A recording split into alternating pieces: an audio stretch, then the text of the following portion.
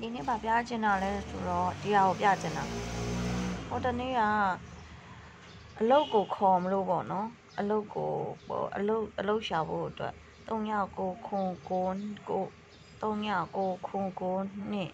6နှစ်1နှစ်1 3ယောက်ပေါ့နော်အဲ့ဒါအလုတ်ဖုန်း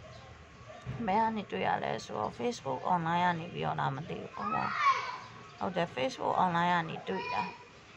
အဲ့ရကိုခေါ်တဲ့အချိန်မှာလုံးဝခေါ်လို့မရဘူး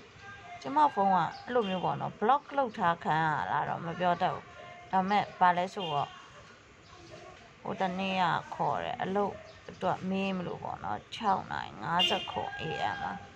လုံးဝအောက်ကိုရ not connected ဖြစ်တယ်အဲ့ဒါဘာလဲဆိုတော့ဒီဟာပေါ့ the number you call is available now please call again အဲ့လို message ကြီးပို့တာပေါ့နော် ဖုန်းတွေကိုအောက်ကိုရင်ကောတွေအကုန်ပိတ်ထားတာမပြောတတ်ဘူးဒါပေမဲ့လုံးဝခေါ်လို့မရနေဘူးဖြစ်နေ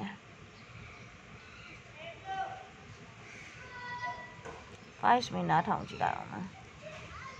1550